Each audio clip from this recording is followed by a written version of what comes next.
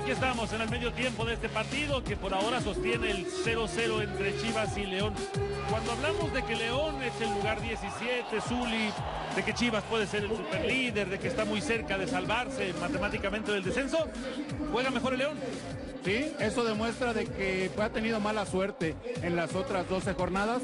Checamos las jugadas en las que, bueno, en esta Michel estuvo muy atento a la salida a la chique y que Sabá es un hombre peligroso. Quizás no se dé mucho a notar durante, bueno, en estos primeros 45 minutos, pero en cualquier jugadita te ponen aprieto. Eh, ha sido muy complicado para Guadalajara contener a este León que le pone seis mediocampistas y también con la experiencia y la capacidad técnica los ha metido en serios aprietos. Dan 3-4 de gol claras del León que por suerte o por reacción de Michel o de Marco Fabián la pelota no ha entrado. Pero ha, estado chato, le cuesta mucho trabajo explotar la velocidad. Y es que finalmente León es el que está apostando a eso, ¿no? A encontrarse estas jugadas, a, generar peligro ahí. Y Chivas ha crecido un poquito de imaginación. La pierna para salir bien librado en la marcación y en la jugada. El Chapo.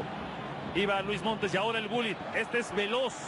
Este es técnico y con mucha fortaleza en ese tipo de jugadas. El árbitro dice que va a amonestar al jugador de León. Que va a amonestar al verde. Que va a pintar de amarillo a Miguel Sabá. Porque fingió la jugada, porque fingió la falta, porque fingió el penalti.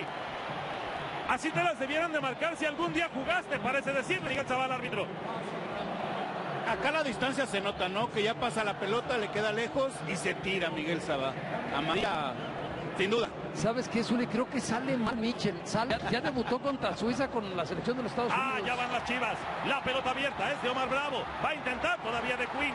Reina atrás para el zapatazo de zurda. Ya el bloque rechaza y luego de cabeza. Canuto la pone contra la última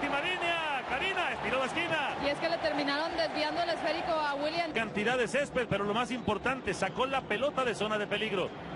Arranca el Gulli. Allá va Peña. Sigue, abre, izquierda, el Chema Cárdenas dentro del área, le pega de zurda. La pelota quemante se fue alejando y se fue desviando del palo más lejano de Luis Mucha gente acá en México acostumbra hoy, Karina, a regresar de vacaciones. Uy, no quiero imaginar cómo van a estar las carreteras, ¿eh? Porque te dejo. Ojo, disparo. La pelota pegó en la horquilla, pegó en el palo. Ocasión casi de punterazo, me da la impresión que le pega Marco Fabián. Adelante. Aquí la tiene el Cone para patear de zurda, de zurda, de zurda. Se le dio.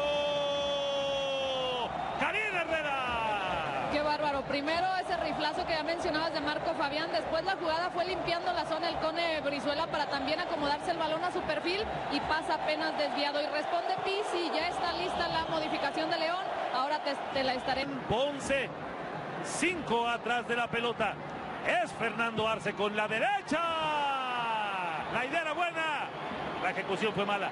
Es imposible también, contaba en la barrera, hay 10 entre los de León y los de Chivas había 10 tapas, mide 7.32 la portería. Le aprieta en la marcación.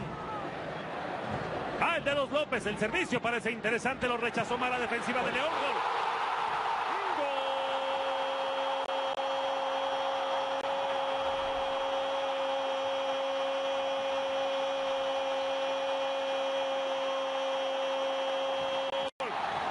León, faltaban dos minutos, mire qué remate, cómo la deja, se la pone en el centro, ahí Johnny Magallón y la agarra, parte externa, rebanada, confunde al arquero, se la pone a la izquierda abajo, muy cerca, imposible, gol del minuto 43 de Fabián, le está dando en este momento los tres puntos, el liderato general, la salvación del descenso.